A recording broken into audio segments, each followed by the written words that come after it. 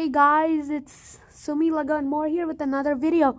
Today I'm gonna be showing you my box car I made. Um, it's like a train car, a box car. Um, like it's looks pretty realistic, like the bars over here and the door here and all those things. And these are like the wheels. And yeah, this is the 360 view of the thing and if it can even open the doors like you have to open it manually. You can't just be like this and it will not open. You have to like move this like this.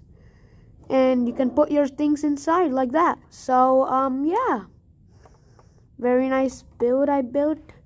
So it has a color part pattern like uh, green green yellow green green yellow. And yeah.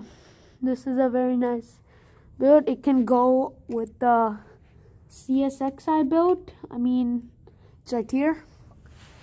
So, I mean, I can attach the the train. I mean, I can attach the box car to it like that. So, it can be like that, like a big CSX engine. CW44 or 4 I mean 44CW and um, a box car. So yeah, thanks for watching. Hope you enjoyed the video and please like, comment, subscribe, turn on notifications, and leave, instead of the comments, since it gets blocked, leave it in the description. Uh, I mean the discussion place in my channel. So yeah. If you want to look, before I end the video, I want to show you inside of the box car. Let me detach it. So, you can completely remove the, like, the doors on each side. So, yeah, that's inside. There's nothing much going on there.